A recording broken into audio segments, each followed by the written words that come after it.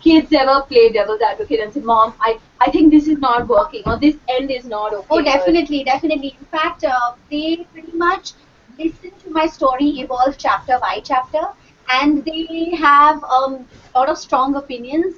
Some of them I just veto because I always had the veto vote. But They always do. We're control freaks. We're yes, completely. But very often I do listen to them because, um, you know, at least my older one is 10 and that is the age group writing for. So she doesn't get it. It's very likely that whoever I'm writing for is not going to get what I'm writing. So she has to find it funny. It has to tickle her funny bone. It has to intrigue her. It has to keep her excited. If it, suspense can sustain her, it will probably sustain any other child out there.